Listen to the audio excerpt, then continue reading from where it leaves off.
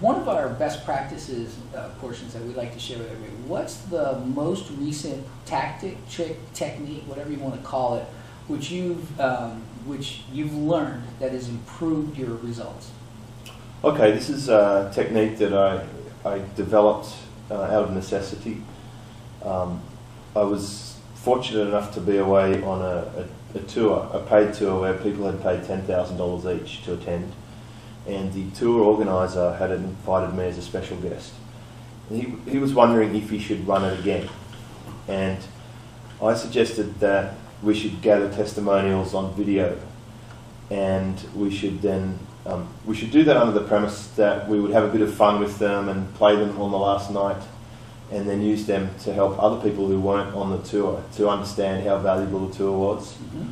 And then I suggested to him that straight after we play the testimonial videos, that we offer a repurchase. And what we found was uh, a 28 out of 30 repurchase on the spot.